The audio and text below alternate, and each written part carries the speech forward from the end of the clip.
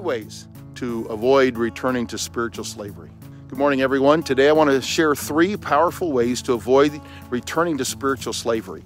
As believers, it's crucial to recognize the freedom that we have in Christ and not fall back into old habits. First, we must remember our identity in Christ. Galatians 5:1 tells us, "Stand fast, therefore, in the liberty wherewith Christ hath made us free, and be not entangled again with the yoke of bondage." When we grasp in, uh, who we are in Him, beloved, forgiven, and free, we're less likely to return to the chains of sin and guilt. The second way is to immerse ourselves in God's Word. Psalms 119, verse 105 declares, Thy Word is a lamp unto my feet and a light unto my path. The scriptures guide us, illuminate our hearts, and remind us of God's promises.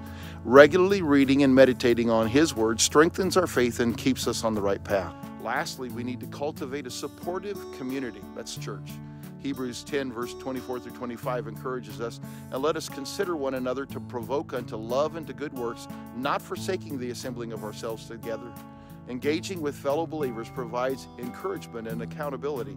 Together, we can uplift one another and stay focused on our walk with the Lord Jesus Christ. Remember your identity in Christ, immerse yourself in God's Word, and cultivate a supportive community within your local church. By following these three steps, we can avoid returning to spiritual slavery and live in abundant freedom that God intends for us.